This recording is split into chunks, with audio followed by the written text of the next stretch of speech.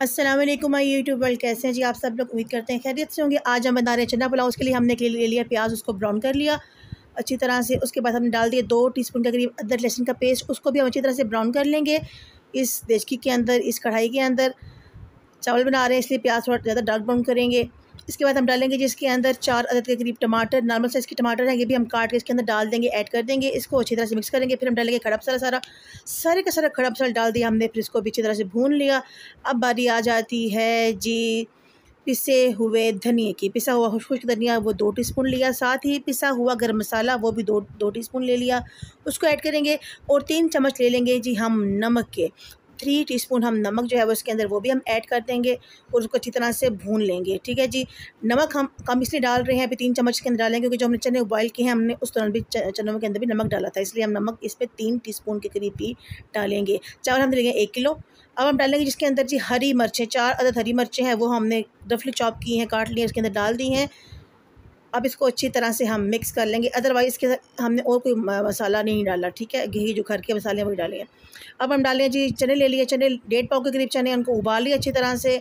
अब हम इसके अंदर ऐड करके भून लेंगे। अच्छा हमने चने उबाले थे तो उसका पानी हमने फेंका नहीं, ठीक है? वो पानी हम इसके अंदर ऐड करेंगे। अच्छी तरह से भून लेंगे। भूनने के बाद जी हम क्या करेंगे? ये हमने भून लिया, अच्छी तरह हम डालेंगे जी दो चिकन क्यूब्स ठीक है?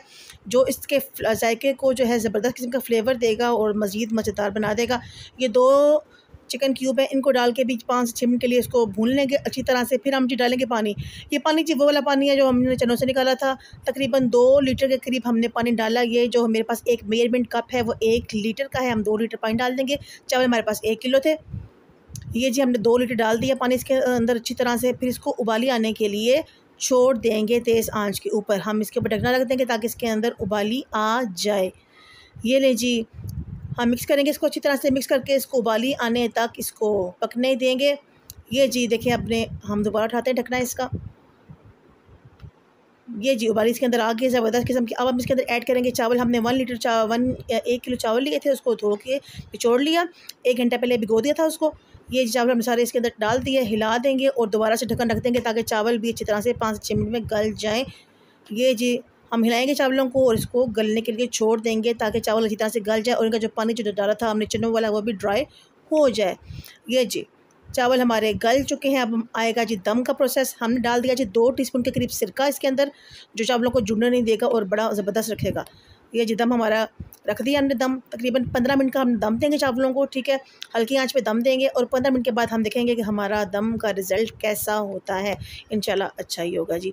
चलें जी, देखते हैं। ये जी हमने दम रख दिया इसके ऊपर, अब हम दम उठाते हैं पंद्रह मिनट के बाद।